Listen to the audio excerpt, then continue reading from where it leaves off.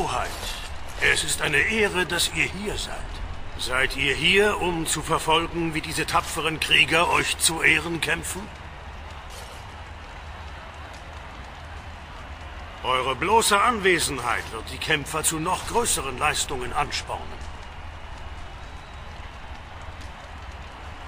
Ich rufe die ersten Kämpfer in Kürze herein.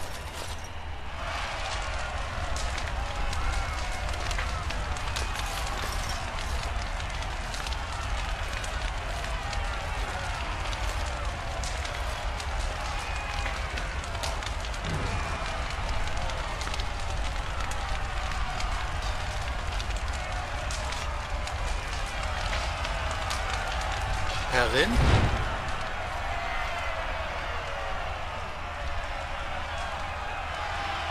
Ja, ich brenne darauf, mich der dunklen Brut zu stellen und als dein Sekundant zu beweisen.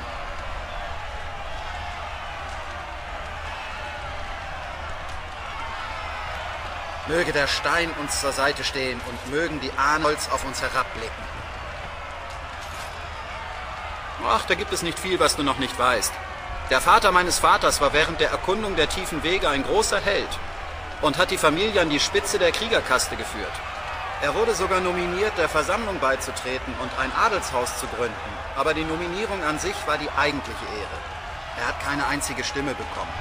Mein Vater hat deinem Vater viele Jahre gedient und jetzt diene ich dir. Wie du wünschst.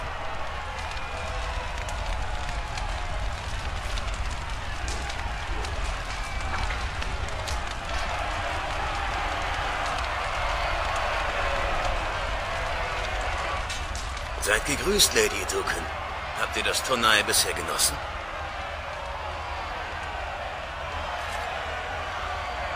Eure Anwesenheit wird die jungen Kämpfer zu noch größeren Leistungen anspornen. Er ist der erste Tornei-Ausbilder, Herrin. Er trainiert Adlige aus den niederen Häusern, die keine eigenen Ausbilder haben, sowie die vielversprechendsten jungen Männer der Kriegerkaste. Äh, nein, mein Vater hielt es für Zeitverschwendung, mich im Duellkampf auszubilden, da ich dir schon als Sekundant verpflichtet war. Allerdings hat Sir Gorham dabei mitgeholfen, viele Schüler bestimmte Strategien zu lehren. Vor allem im Umgang mit dem Schild. Habt ihr von dem Skandal gehört, der sich letzte Woche hier ereignet hat? Wir haben uns auf die morgige Schlacht vorbereitet und hatten keine Zeit für sinnloses Geschwätz. Die Grauen Wächter sind in Orsamar und suchen nach Rekruten. Also hat die Kriegerkaste einen Tornei organisiert. Ihr Ziel war es, dass die Grauen Wächter den Sieger rekrutieren. Es wäre eine große Ehre gewesen und eine Chance, zu Ruhm zu kommen. Sir Everett, der gerade von einem Kampf gegen die dunkle Brut zurückgekehrt war, hat sich vor dem Turnai übelst betrunken. Dann hat sich ein kastenloser Raufbold in Sir Everetts Rüstung gekleidet und das Turnai gewonnen. Lady Eduken liebt es, wenn die Welt aus dem Gleichgewicht gerät. Nun, es hat die Welt tatsächlich aus dem Gleichgewicht gebracht. Der Hochstapler wurde ins Gefängnis geworfen. Ich vermute, er soll später in die tiefen Wege geworfen werden, als Futter für die dunkle Brut. Die Kriegerkaste ist in Aufruhr. Ein derartiger Vorfall wirft einfach viele Fragen auf. Nun, als erstes natürlich, wie der Gezeichnete hier hereingekommen ist. Ganz zu schweigen davon, wie ein Kastenloser gelernt hat, so zu kämpfen. Der Besitz von Waffen ist ihnen untersagt. Es gibt Gerüchte, dass sie in der Stadt des Staubs mit alten Ausgestoßenen kämpfen. Das würde ich mir gerne ansehen. Ich bezweifle, dass König Endrin das gutheißen würde. Ha, vermutlich nicht. Nun denn, ich muss nach den anderen Kämpfern sehen. Es war mir eine Ehre, mich mit euch zu unterhalten, Hoheit. Vielen Dank. Sir Gorim, wir sehen uns später. Ich wünsche euch beiden viel Glück für morgen.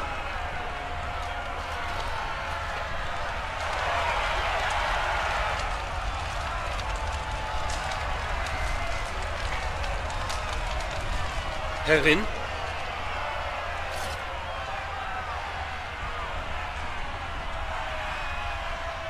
Wir machen Pause, sobald unsere Aufgabe hier erfüllt ist. Jetzt sind wir hier, um euch zu dienen.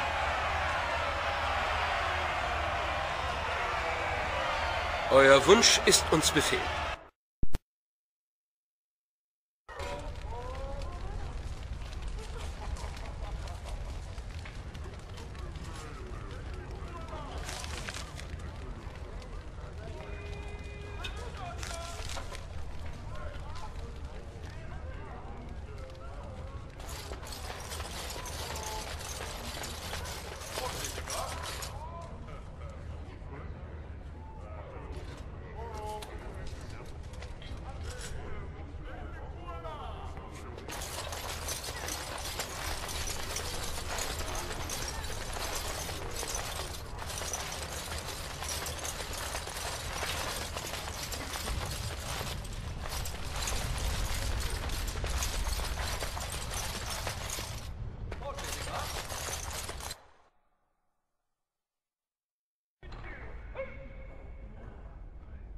Sehr schön.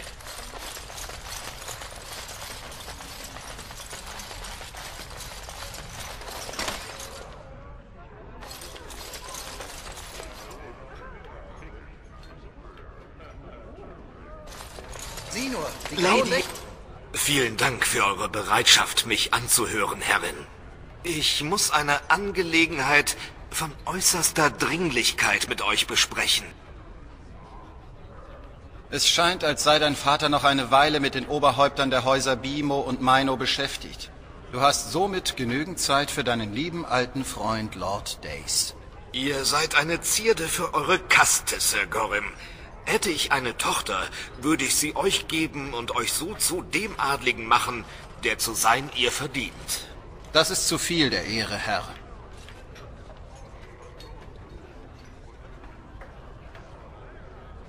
Lasst mich euch zuerst zu eurem neuen Rang gratulieren.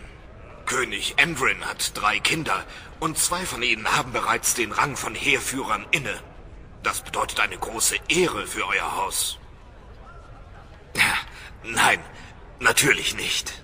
Geben wir einfach vor, wir hätten noch weitere zehn Minuten gute Wünsche für unsere Häuser ausgetauscht. In Ordnung? Nächste Woche wird in der Versammlung eine Abstimmung stattfinden und ein Wort von euch könnte unserem Vorhaben einen großen Dienst erweisen.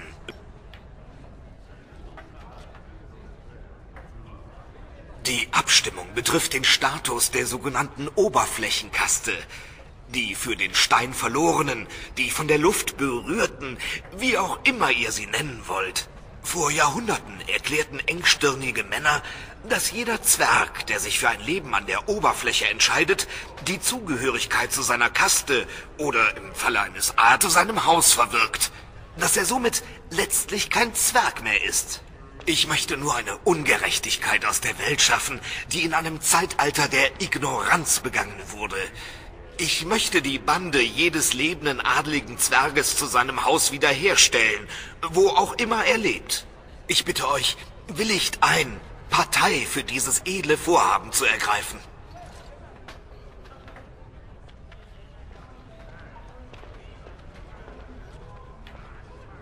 Weil es das Richtige ist. Diejenigen an der Oberfläche sind unsere Rettung. Sie erleichtern den Handel mit der Oberfläche. Sie sind ehrenhaft und... Äh, lasst mich ehrlich sein. Ich gebe einen Dreck um die, die den Stein verlassen haben. Meine Frau allerdings ist ein Juwel von einer anderen Farbe. Sie hat einen Cousin, ein absolut nutzloses Wesen, aber sie liebt ihn über alles. Er hat sich einem riskanten Vorhaben an der Oberfläche angeschlossen, um ein Vermögen zu machen, und ist bankrott gegangen. Jetzt wünscht sie sich, dass er nach Hause zurückkehrt. Aber er kann nicht, weil er keinem Haus angehört und kastenlos wäre. Meiner Frau zuliebe nehme ich mich dieser Sache an. Würdet ihr mich unterstützen? Während euch euer Vater den Adelshäusern vorstellt, werde ich euch nach eurer Meinung zu dieser Angelegenheit fragen. Ihr müsstet einfach nur sagen, dass ihr findet, dass unsere Brüder an der Oberfläche ihre adligen Rechte zurückerhalten sollten. Was gibt es einfacheres als das?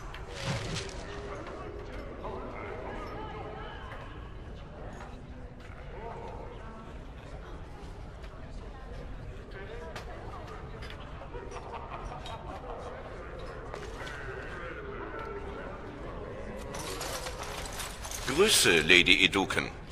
Es ist eine Ehre, dir endlich zu begegnen. Ich hatte kürzlich Gelegenheit, mich mit deinem Vater zu unterhalten. Er spricht in den höchsten Tönen von dir. Er sagt, du bist vermutlich die fähigste Kriegerin des Hauses Eduken.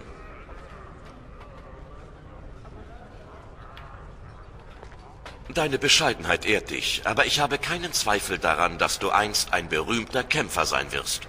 Wir brauchen graue Wächter wie dich und wir brauchen sie schnell.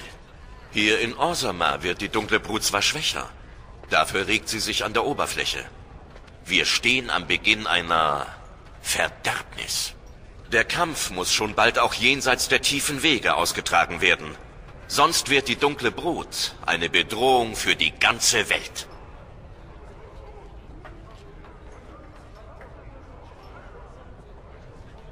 Du weißt von unserer ewigen Verpflichtung, die dunkle Brut zu vernichten. Dass wir in vorderster Front stehen, sobald eine Verderbnis droht. Was gäbe es sonst noch zu wissen?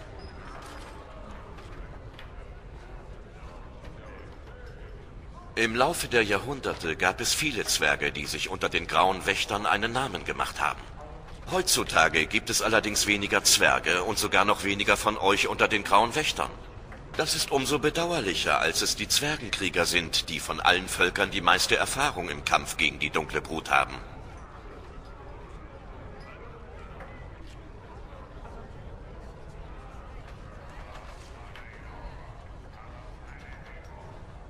Ein grauer Wächter zu sein bedeutet, dein altes Leben hinter dir zu lassen. Du widmest dich ausschließlich der Vernichtung der dunklen Brut.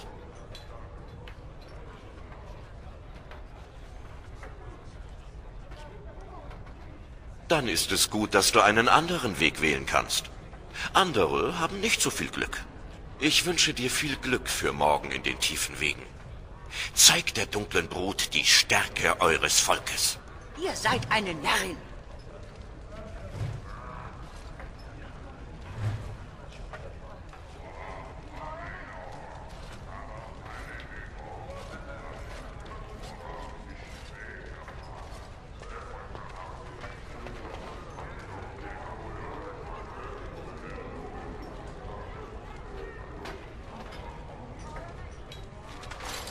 Eure Mutter würde den Stein schmelzen, wenn sie wüsste, was ihr getan habt.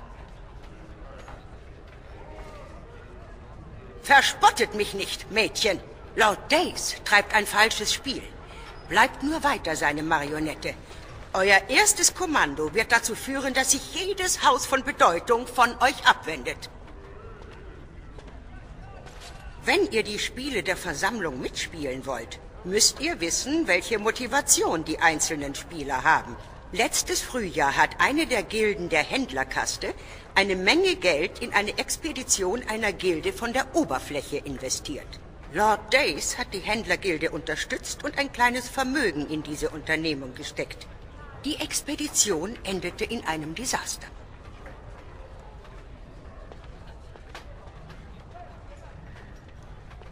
Kluges Kind. Lord Days hat eine Menge Geld und Ansehen verloren. Die Oberflächengilde kann die Investition nicht zurückzahlen. Was sie aber hat, sind mehrere Anführer, die von Adelshäusern abstammen. Haus Helmi, Bimo, Eduken.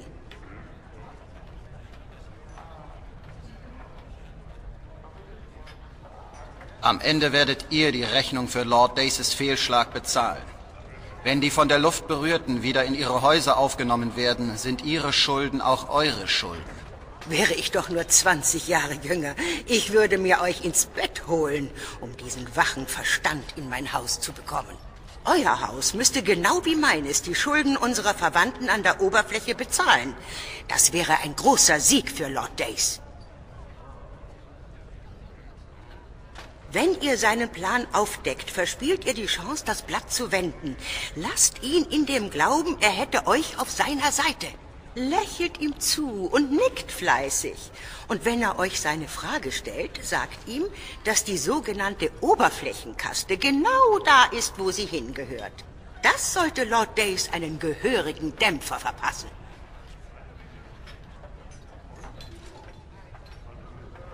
Gut, das Ansehen eures Hauses steht auf dem Spiel.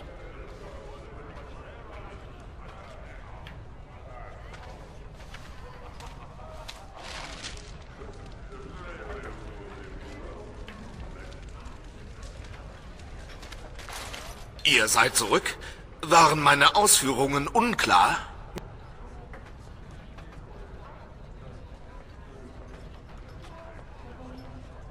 Was würde euch das bringen, abgesehen davon, dass man euch in die tiefen Wege verbannen oder wie ein wildes Tier niedermachen würde? Seid ihr wegen irgendetwas verärgert? Ja, das wäre möglich. Ich meine, es ist doch der Grundgedanke des Gesetzes, der zählt, oder? Denkt nur an unsere armen, entrechteten Brüder an der Oberfläche. Ha, gut gespielt, Euer Hoheit. Willkommen zu den politischen Spielchen der Versammlung. Wenn ihr mich jetzt entschuldigen würdet. Ihr habt gewonnen. Begeht jetzt keinen Fehler. Ihr scheint zu vergessen, mit wem ihr sprecht. Das hier ist der Ehrengast und das Kind des ersten Hauses von Orsama. Ja, noch. Wir werden sehen, was die Zukunft bringt. Trians Griff nach dem Thron ist keineswegs sicher. Und bis dahin kann noch vieles geschehen. Und jetzt lasst mich in Ruhe. Ihr habt euch heute keinen Freund gemacht.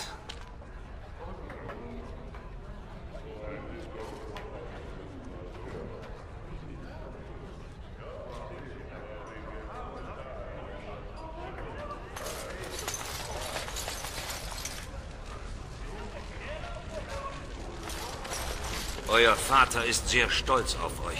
Meinen Glückwunsch. Mein König überdenkt es noch einmal. Allein der Handelsvertrag würde unseren Häusern große Reichtümer einbringen. Wollen wir unseren Brüdern wirklich den Rücken zuwenden und auf ein leicht verdientes Vermögen verzichten, nur wegen einer politischen Formalität? Die Abkehr von den Traditionen unseres Volkes ist wohl kaum nur eine politische Formalität. Das Leben besteht aus mehr als finanziellen Interessen, Lord Bimo, Lord Maino. Die Versammlung von Kal Sharok wird die Herrschaft von Orsama anerkennen oder sie werden alleine verrotten und sterben, eingekesselt von Feinden.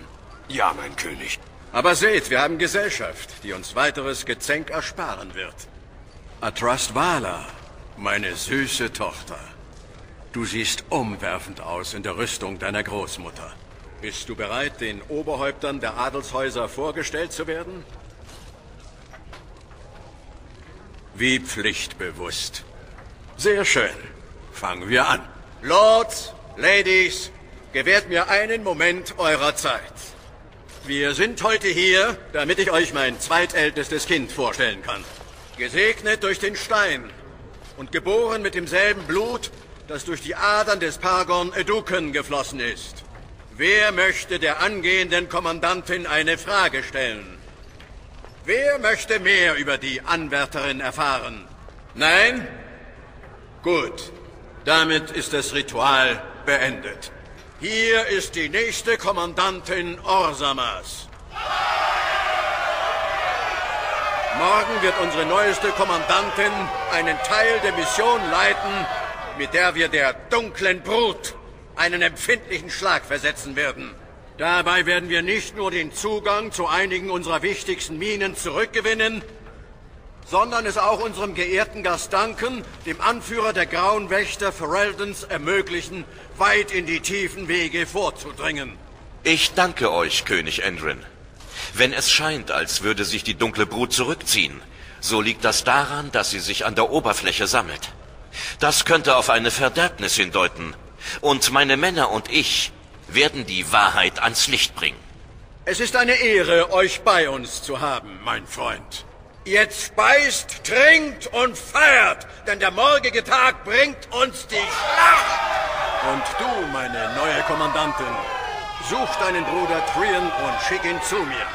Da er nicht hier ist, sieht er sich vielleicht das Turnei an oder ruht sich in seinen Gemächern aus. Viel Erfolg, Kommandantin.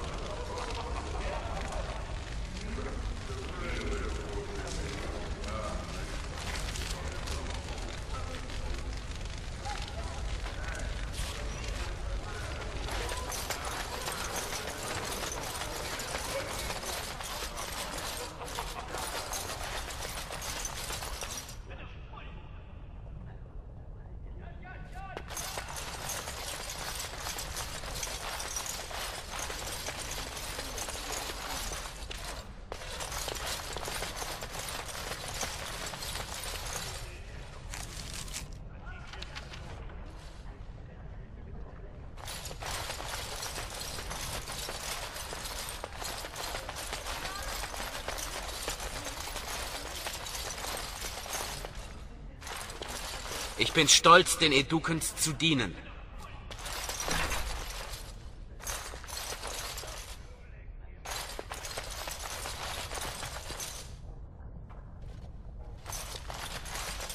So, du bist jetzt also Kommandantin, zumindest dem Namen nach. Solltest du nicht bei unserem Vater sein?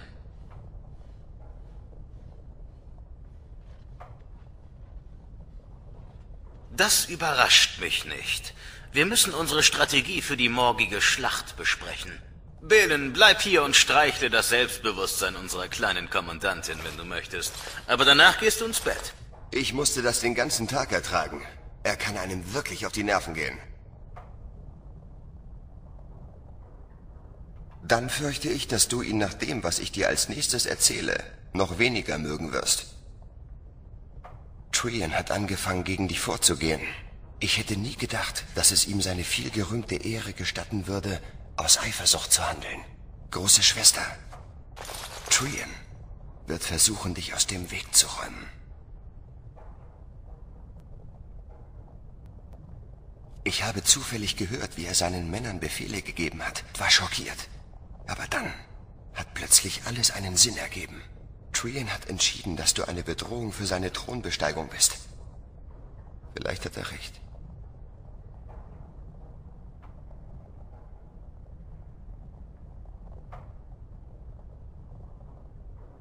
Er fürchtet das, was du in den Augen des Volkes und der Versammlung werden wirst. Trian ist zwar der Prinz, aber den König kann nur die Versammlung bestimmen. Es wäre zwar unüblich, wenn die Versammlung die Wahl des Königs ablehnen würde, aber es ist nicht unmöglich. Der Begründer des Hauses Bimo wurde von der Versammlung in einem Schritt zum Paragon und zum König gemacht. Und er war ein bürgerlicher. Natürlich war das ein außergewöhnlicher Fall. Aber die Versammlung hat mindestens ein halbes Dutzend Mal unbedeutendere Familienmitglieder oder sogar Angehörige eines anderen Hauses zum König bestimmt. Zweimal war es eine Frau.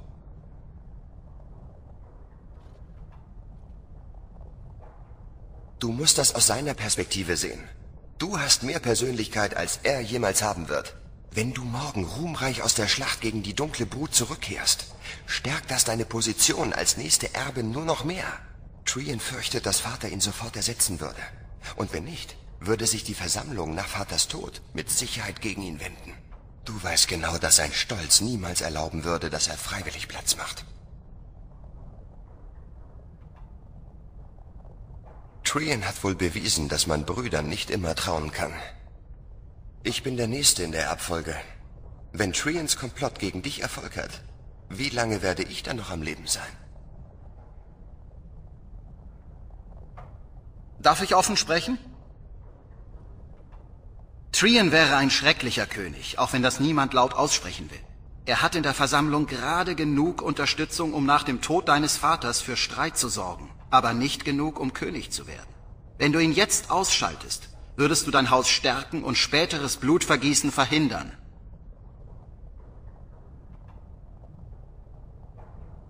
In Ordnung. Ich halte die Augen offen. Ich möchte meine liebste Schwester nicht verlieren. Dafür musst du mir nicht danken. Ich nehme jetzt deinen Platz als Vaters Sekundant ein. Also werde ich morgen in der Nähe sein. Versuch jetzt etwas Schlaf zu finden. Mögen die Paragons auf euch herablächeln.